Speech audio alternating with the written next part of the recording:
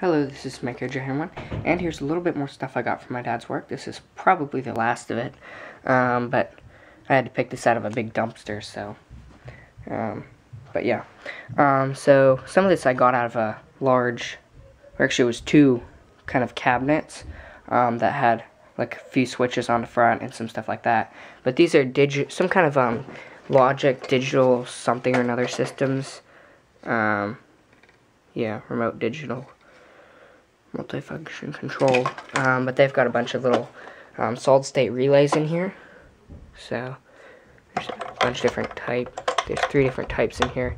And then I think this middle one here is a uh, um, voltage regulator. Um, just thought that was kind of cool. But let me see if I can get it apart here. It before. Yeah, but you screw your terminals on there and, it, and yeah, kind of cool. Um, some kind of other power supply. I think it's 24 volts. A large or medium. This is actually a 120 volt fan, uh, and, it, and it's really powerful. So it's kind of cool. Um, that thing probably wouldn't even think about chopping your finger off because it goes really fast. Um, just a little board. It had a lot of toroids on it, so I grabbed that. Saw it in there. Um, another Logix, some kind of controller or something. Um, little 12 volt power supply. I mainly got this though for the, because uh, it has um, 2 and 305.5s, so that's kind of nice. A little amp meter, um, some cube relays. Um, these are really nice little switches. Um, Aussie 50 has some of these. I really like them. Um, but I don't know what I'll use these for. But but actually, you can take the contact off the one, so you have a double um, so it turns the neutral and the hot off.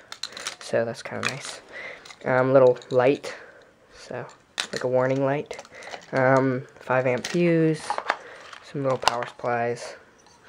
Um, some uh, Ethernet cable. This is actually brand new. It was still in the box. Um, it's a laptop um, docking station, but see, still has the still has everything on there. I don't know. I'll just take it apart and see what's inside of it. Um, this is actually fiber optic cable here. Um, just some pieces. And a little um, fiber optic bit driver. So, kind of neat. I think that these are heating elements, but I'm not really sure. Um, I'll have to see what those do. And this is probably the best thing right here. A nice little transformer. This thing is beastly. I mean, look at these cables on here.